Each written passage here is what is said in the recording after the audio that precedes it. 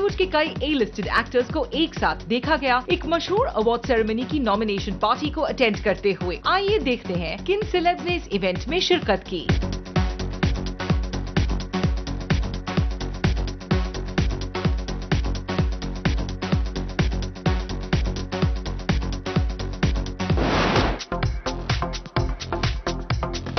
बॉलीवुड डीवास जीनत अमान और सुष्मिता सेन ने हाल ही में बेटी फ़ैशन शो को सपोर्ट किया, जहाँ ये दोनों एक्ट्रेसेस रैंप वॉक करती दिखी। इनके साथ साथ रैंप पर उतरी ऐशा दियोल और उनके husband Bharat Takhtani.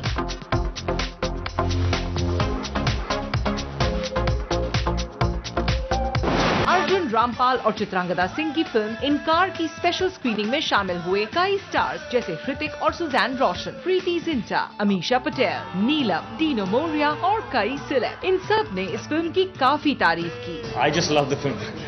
It's a kind of film that uh, I think should be made. very unusual love story and uh, very well directed and one of मुझे लगता है अर्जुन रामपाल की बेस्ट परफॉर्मेंस है बहुत अच्छी फिल्म लगी बहुत अच्छे परफॉर्मेंसेस थे it's a topic that people have not really spoken और shown it's a must watch for every like woman at least